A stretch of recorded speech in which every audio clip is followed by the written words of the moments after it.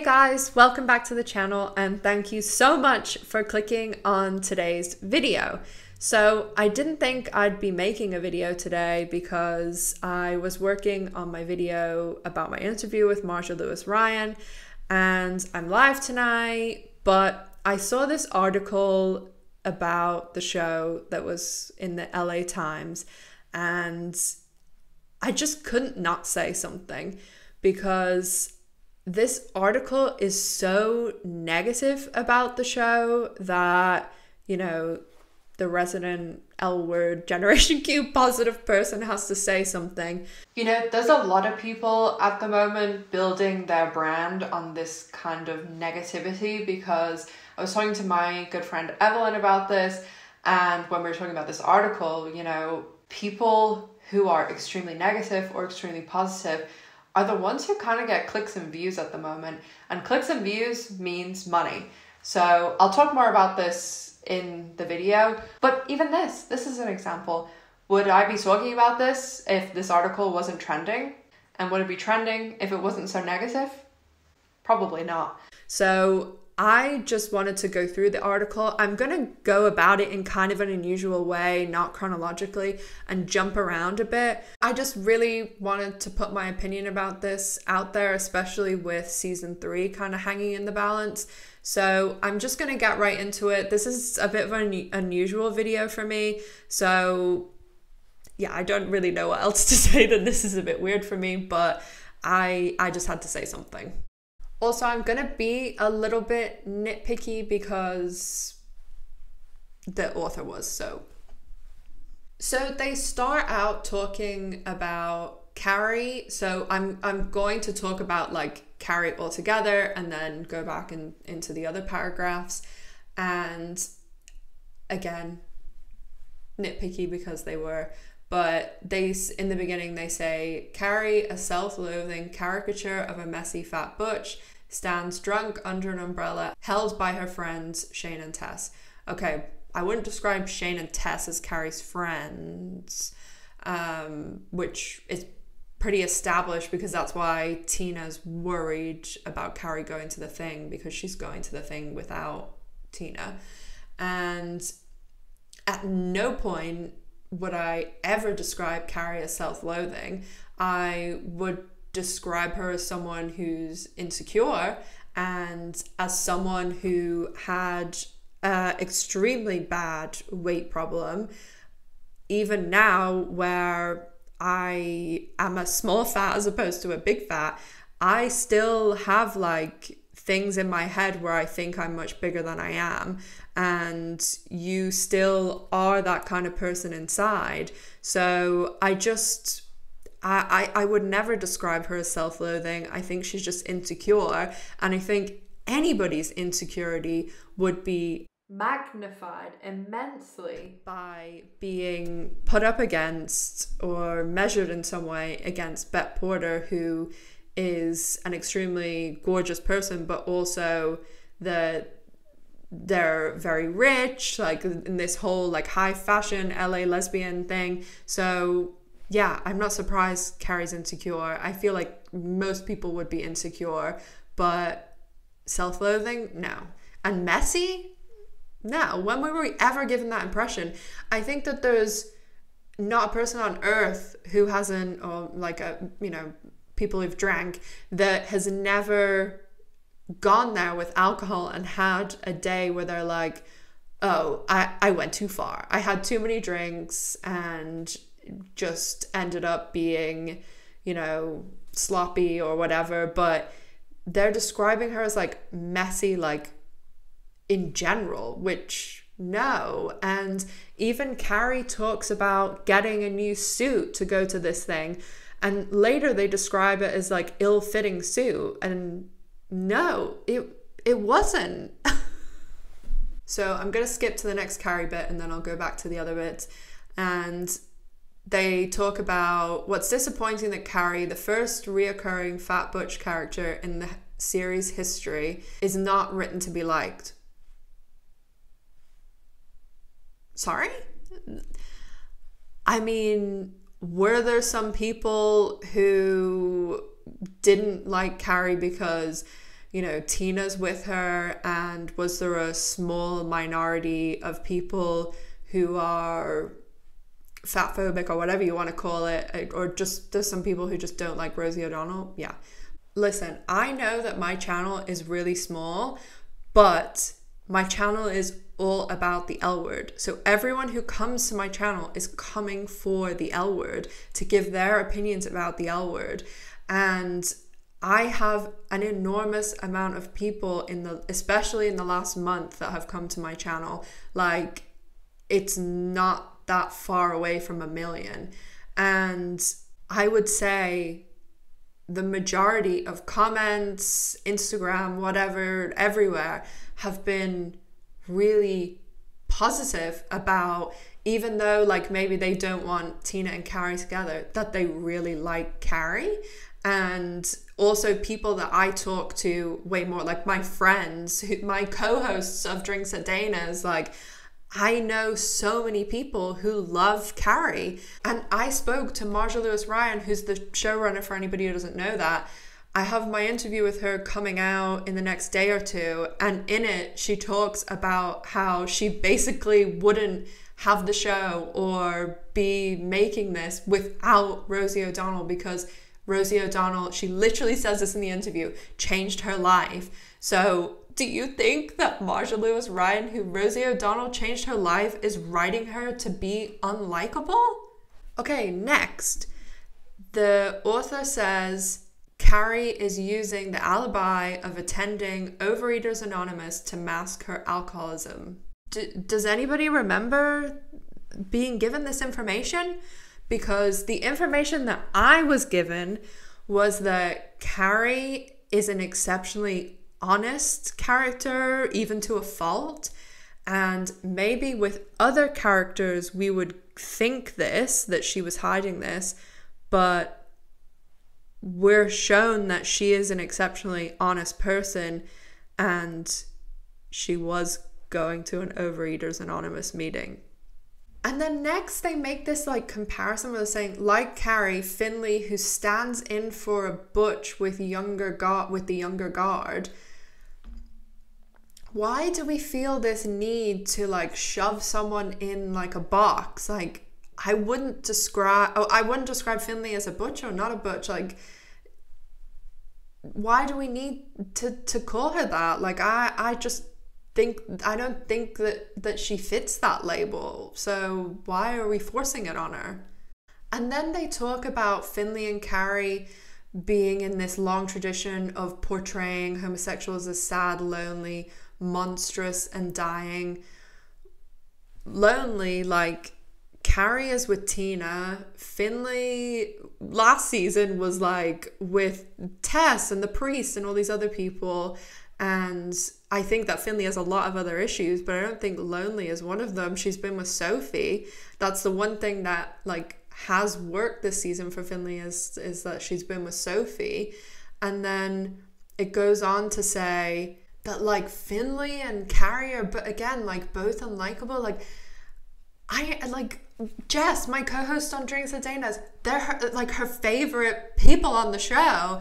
Like I know that there's a small amount of people who don't like Finley, but again, predominantly enormous amounts of people tell me how much they love Finley and if anything like feel bad for her now. So so then the article goes into this bit where it's talking about how the guests made the original L word and there was all these appearances and even like talks about Betty, which like okay.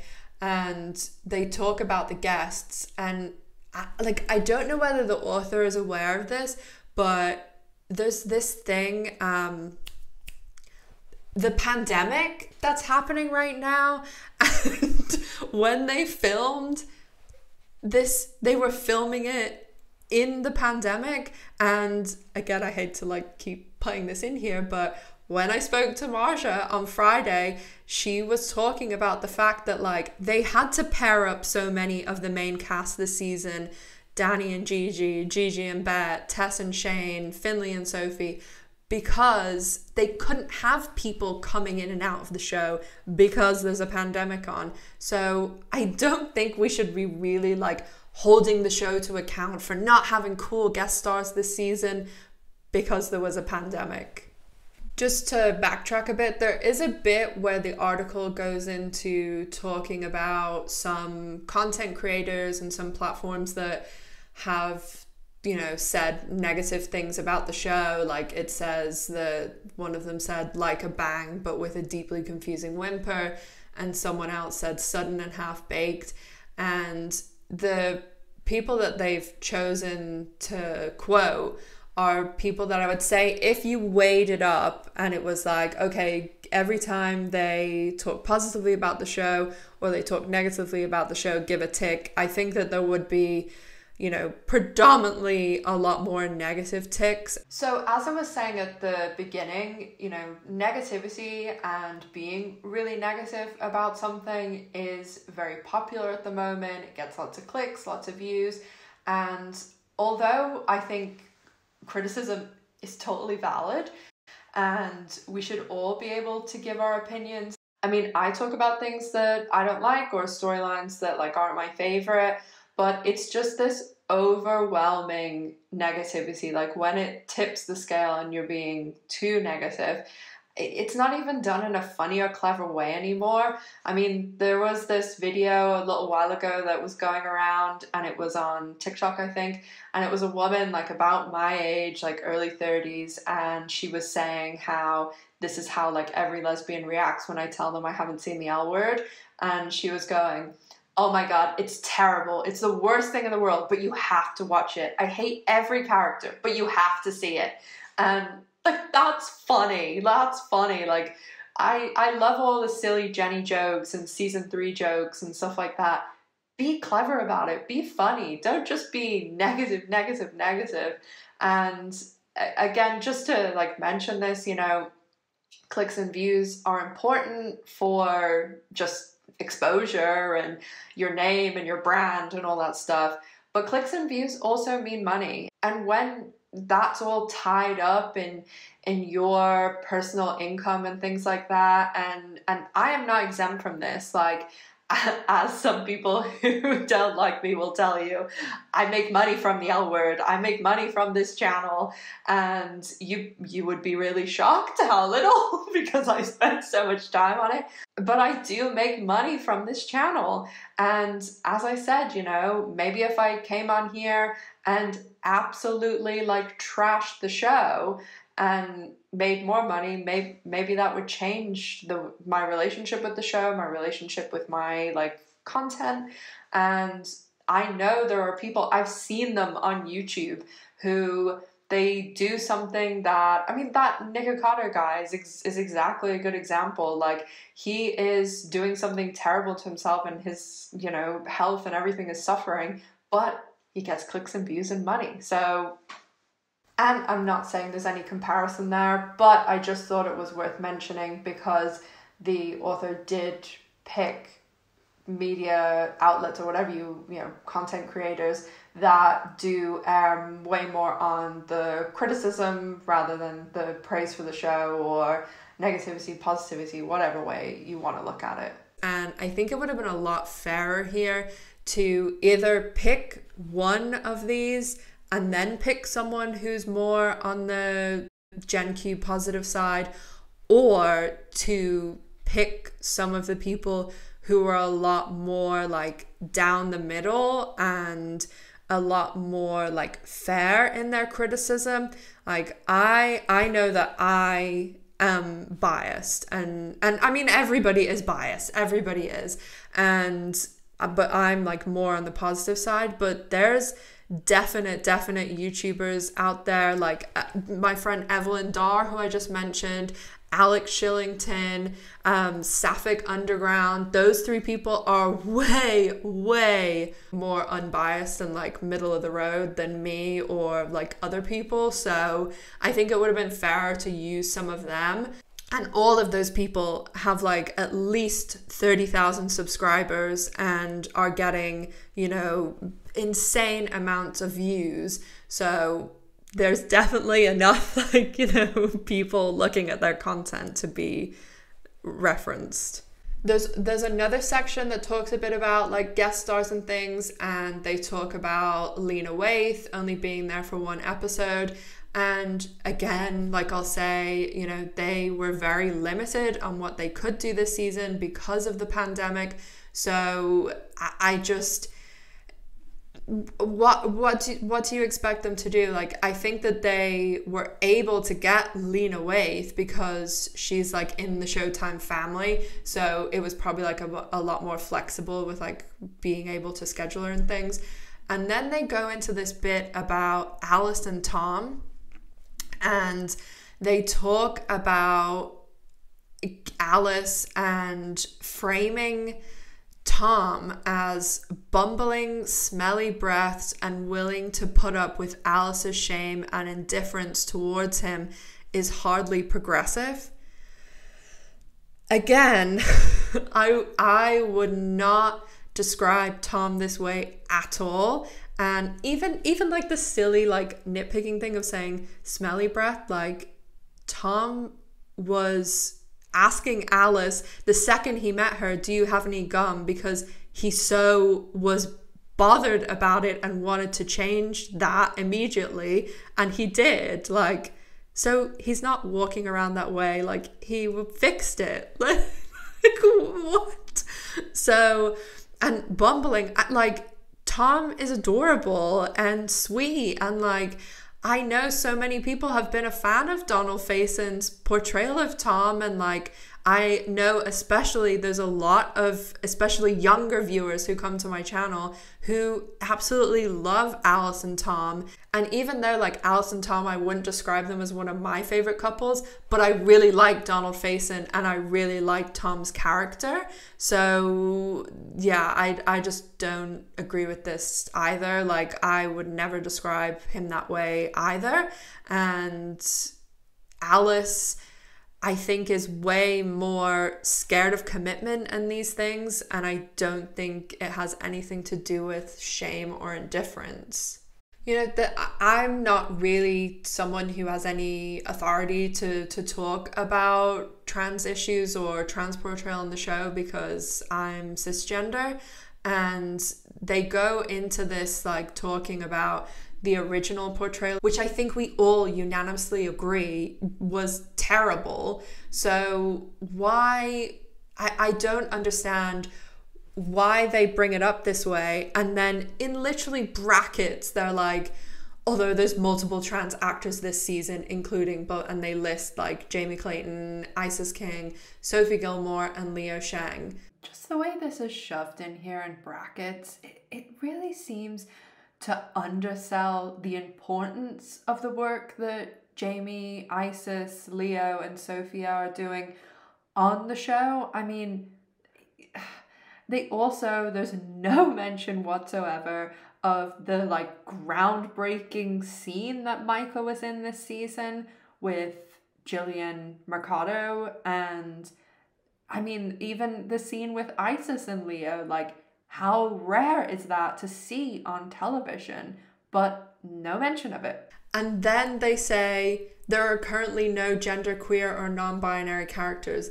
Like, there's only so many characters. This show cannot be everything for everyone. Like, I wish that there was, you know, I don't know, maybe a Helena's back and a British person is back. Like you can sit there and say that about anything. Like there's a not not enough blonde women on the L word. like that sounds ridiculous, but it's easy to sit here and critique and say this should be on it and this should be. But what the question we really should be asking is why do we only have this one goddamn show and why is there not more queer representation and more queer characters and queer shows and queer representation in mainstream shows. Why do we have this one show? And we should be praising the show that's getting stories out. And also, there is so much this season. Like, for one, Dani and Gigi being on screen speaking Farsi together, like, the people that I've spoken to in that community are insanely, insanely happy and proud and love Dani and Gigi. And I think that that should be praised. That's not even addressed once in the entire article. The words Dani and Gigi are never uttered. And then there's another thing that's not even mentioned is Bette and Pippa. Do you know how rare it is to have two black women over 50 on the screen having a sex scene on a show? That, like, tell me, please tell me another show that has that. And it's the same show that's having 30 something Persian couple rep- representation and 50 plus black women representation couple. Like, how you cannot mention Bette and Pippa and Dani and Gigi in an article about season two of Generation Q. Honestly, I'm I'm flabbergasted. I really am. I mean, there's so many things, like little things in this that I could sit here all day and, and talk about. Like, they describe the show as an update. Like, this isn't replacing the old one. This is a new story. This is a continuation. It's it's not replacing the original. And I think that when people realize that we're not saying this is the L word, like this is a new show with new characters and Alice, Bette, Shane, Tina, like all the people from the original. Like this is new parts of their life and you know, when I look at this show, I just look at this is my community and I'm really proud of the members of my community who are in the show. And, you know, this show is made, and, and I don't mean just like Leisha and Kay and people on the screen.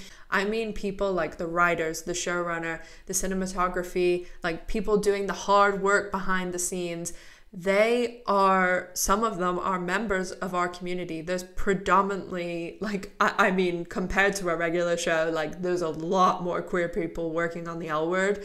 And i am really proud of this show. And is it the number one show on television? No.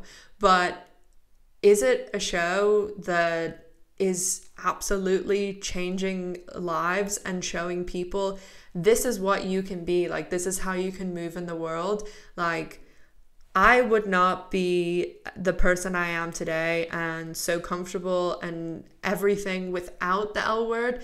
And I know that there's literally thousands of people who feel that way because they come to my channel and tell me how important the L word is to them. And that is still going on now with Generation Q. Also, any show that can elicit this reaction is doing something right.